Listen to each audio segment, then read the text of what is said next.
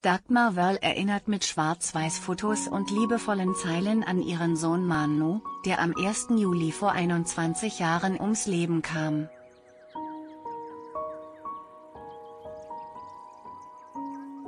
Mit süßen Schwarz-Weiß-Fotos erinnert die Höhle der Löwenstar Dagmar Wörl, 68, an den 21. Todestag ihres Sohnes Emanuel.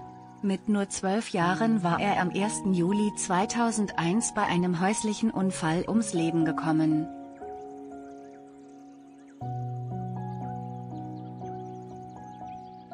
Lieber Manu, weißt du noch, wie viel Spaß wir bei unserem letzten Urlaub hatten? Wie selbstverständlich ich die gemeinsame Zeit mit dir genommen habe, richtet sie sich in ihrem Instagram-Post direkt an ihr Kind. Hätte ich geahnt, dass wir so bald getrennt werden, hätte ich dir noch so viel gesagt und ich hätte mir deinen letzten Kuss fest eingeprägt, fährt sie fort.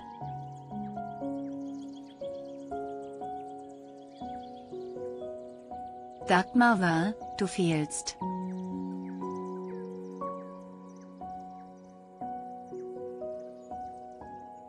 Weiter schreibt sie, ich weiß, du würdest nicht wollen, dass ich voll Trauer an dich denke, aber das fällt so verdammt schwer. In deiner Gegenwart erschien alles so viel leichter und fröhlicher.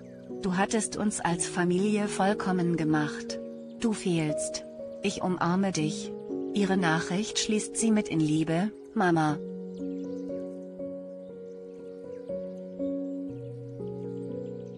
Auch in den Hashtags lässt sie ihren Gefühlen freien Lauf. Ich vermisse dich, mein Herz und Liebe endet nie, schreibt sie.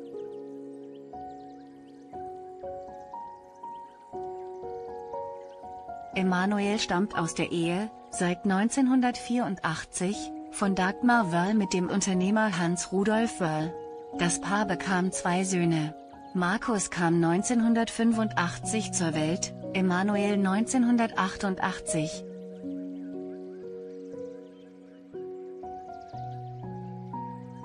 Viele Promi-Mütter reagieren.